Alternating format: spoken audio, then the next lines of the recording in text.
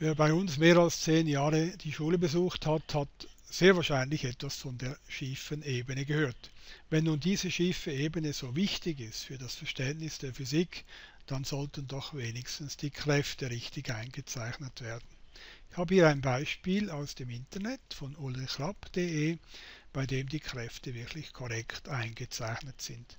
Wir haben hier die Gewichtskraft als feldartige Kraft, die auf das ganze Auto wirkt.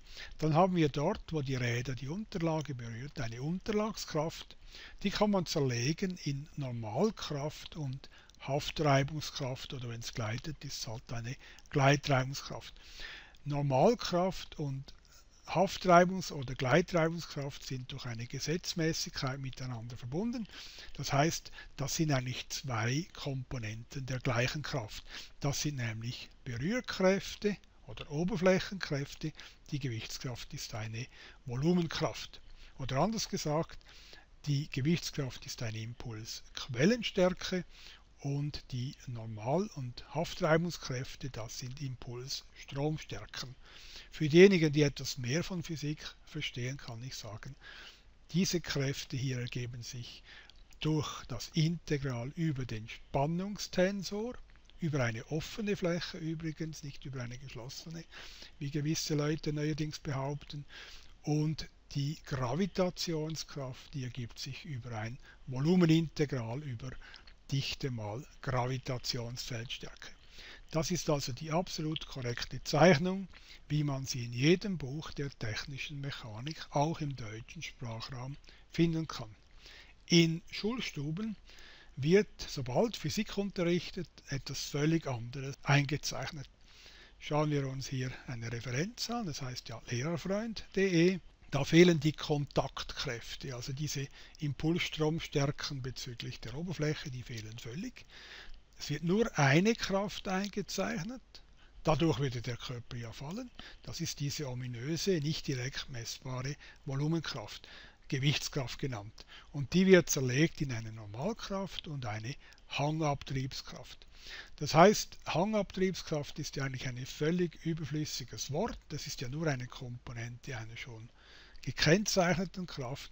Und der Begriff Normalkraft ist hier völlig falsch am Platz. Normalkraft, das sind diese Kräfte hier, die bei den Rädern wirken. Nun, das ist eine traurige Realität und ich frage mich, wieso unterrichtet man so etwas und quält Schülerinnen und Schüler mit solchen banalen Kraftskizzen, wenn man selber als Lehrer nicht in der Lage ist, Kräfte korrekt einzuzeichnen. Ich kann das auch zeigen am Beispiel des Internets. Wenn man zum Beispiel schiefe Ebene in Google eingibt, dann bekommt man eine ganze Sammlung von Bildern. Zum Beispiel hier, da sieht man, da ist wieder die Gewichtskraft zerlegt, das ist das Bild, das ich gezeigt habe. Da unten wird sogar ein Rollkörper gezeichnet, keine Spur von Normalkraft. Dafür wird wieder die Normalkomponente der Gewichtskraft als Normalkraft bezeichnet und die Kraft, die dafür sorgt, dass ein Körper rollt, die Haftreibungskraft, die ist schon gar nicht eingezeichnet worden. Auch dieses Bild ist falsch, dieses Bild ist falsch. Einzig in Wikipedia scheint es jetzt zu stimmen. Das heißt, nachdem jemand, den ich gekannt habe, interveniert hat.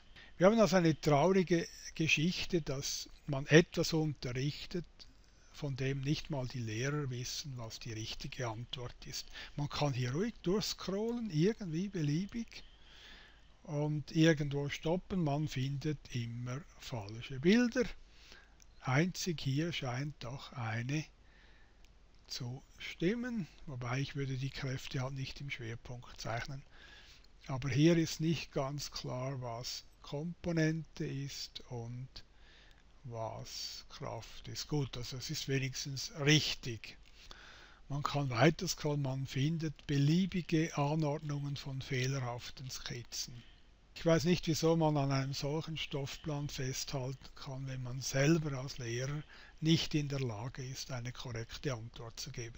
Geht man ins Angelsächsische und gibt Inclined Plane ein, dann findet man auch lustige Bilder aber doch hin und wieder eine korrekte Darstellung.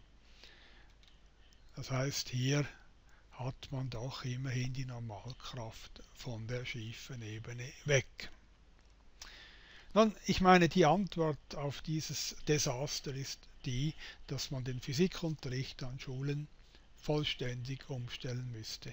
Eine mögliche Umstellung, die viel mehr die Schülerinnen und Schüler motivieren könnte, wäre zum Beispiel der Karlsruher Physikkurs.